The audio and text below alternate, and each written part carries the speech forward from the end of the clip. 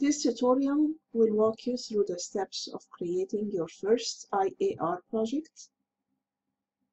So we go to the project menu, create new project, and expand the C option and choose main. Okay. Now it is asking you for the directory. Uh, it is highly recommended that you create all your projects on the C drive. So make sure you are on the C drive and then create a project folder.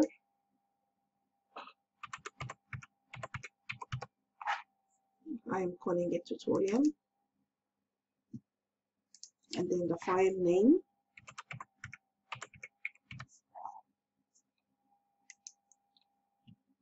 And save. And as you see, it created an automatic um, C program for you. Only has the main function. And here you can modify this program, as we will see shortly. Uh, let's take a quick look at the environment in IAR. So in order to compile this program, you go for F7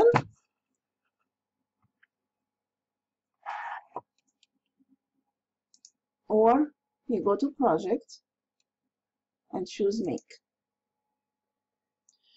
When you choose make,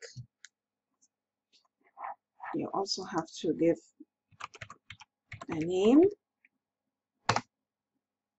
and now it starts compiling and zero errors. Okay. Uh, we want to set some options for the board we are using.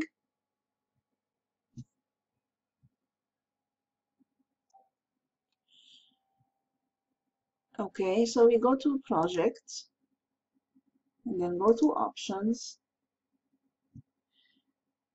and here in uh, the general options if we want to choose the device that we are using we choose device and then here look for Texas Instruments and then TM4C and then look for the board which is TM4C123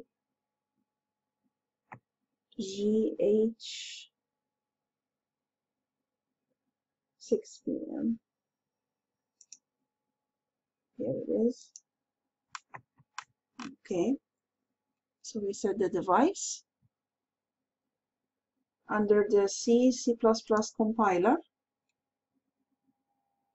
Make sure the language is C and the dialect is C99. And if we scroll go to the optimization bar and make sure that the level is low.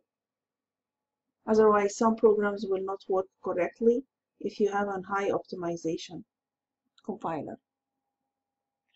Okay, and then we need to go to the debugger.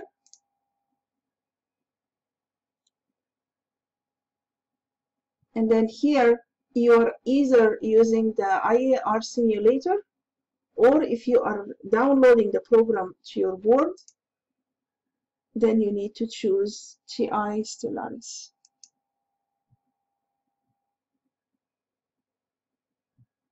Okay.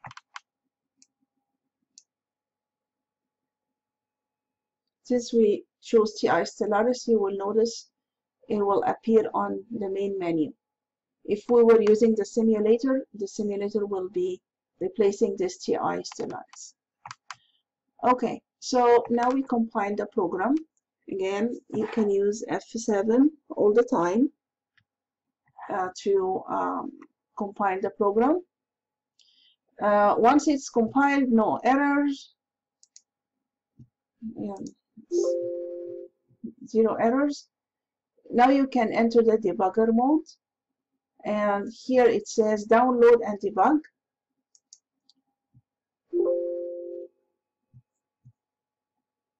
okay now you notice here we have disassembly window.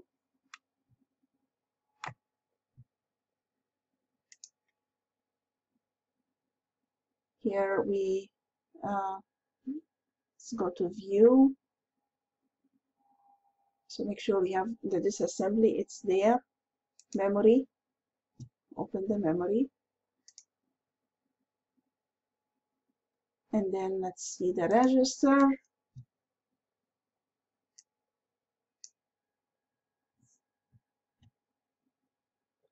And we can also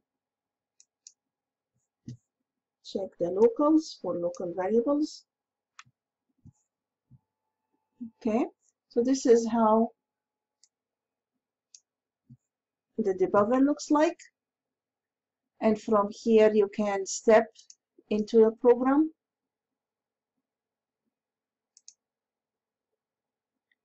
Or if you want to stop debugging. So I'm going to stop debugging for now. Okay, now let's write simple program, compile it, run it.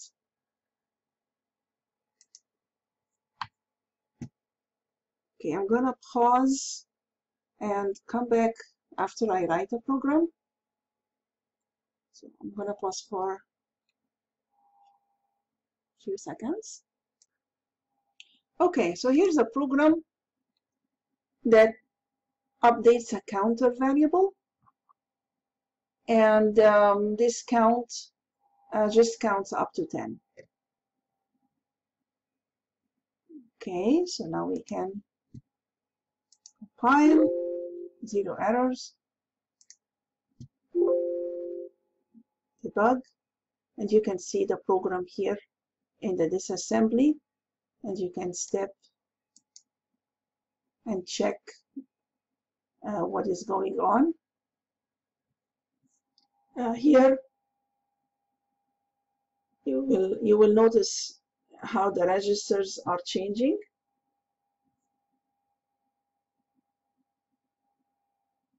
Okay.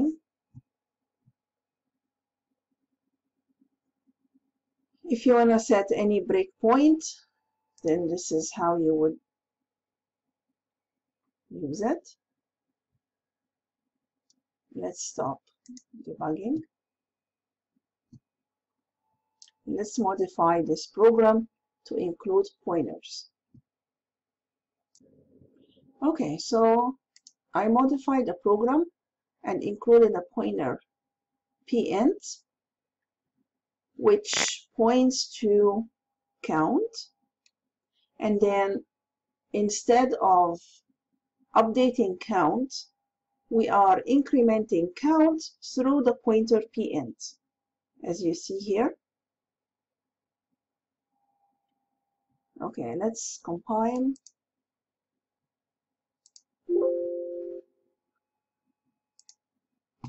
And debug.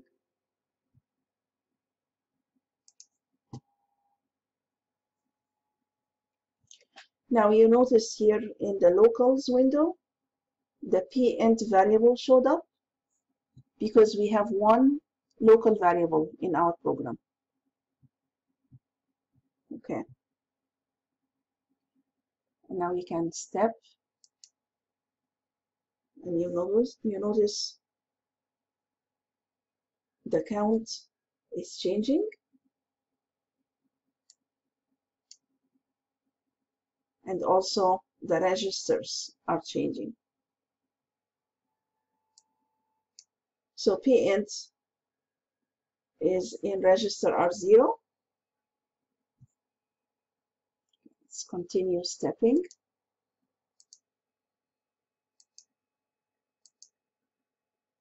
You notice R1 is changing, is incrementing.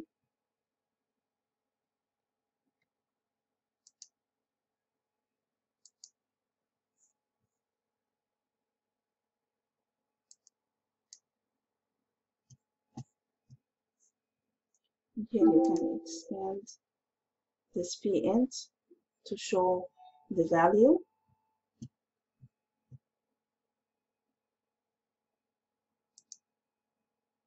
okay and you can keep stepping into. And then if you want to finish you can hit go. And go basically takes you to the end of the program.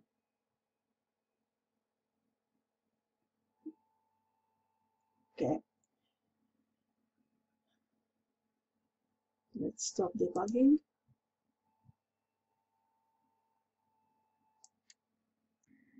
Okay so I paused again to update the program and then I came back. So what I did is I am trying to write something directly to a memory address which is memory address to 00000 which is the beginning of the RAM of the TIVA board so after uh, the loop I basically said pint equals um, this memory address. Okay so I'm trying to point to that memory address. And then let's compile and see if this is gonna work or not. There is an error. It's complaining here it doesn't like it this way. So the only way to make this work is by enforcing typecasting. So you have to let's comment this one. And then use this typecasting and now it should compile. And then after this step we're trying to write the word dead beef into this particular memory address. If you notice dead beef it's all hexadecimal. Okay. So let's compile again. Make no errors. Now let's download okay. So here is the memory in the memory view. If you make it 4x units you will see every four bytes. So it will combine every four bytes for you. Okay. So the the column uh, to the left this is the memory address and then uh, the four the four columns to the right are the contents of the memory. Okay so now we want to see memory address 2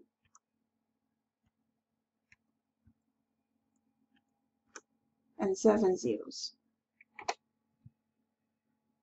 Okay and now let's step into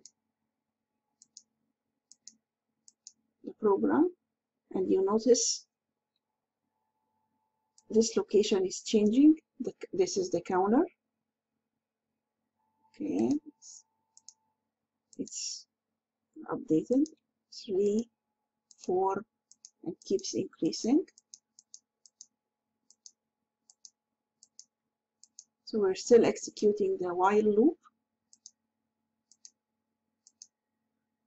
And now here's the dead beef.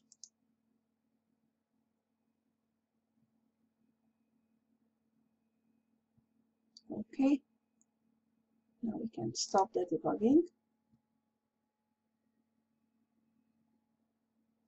And this is how you would access the memory. And make sure that you have the typecasting included. Okay thank you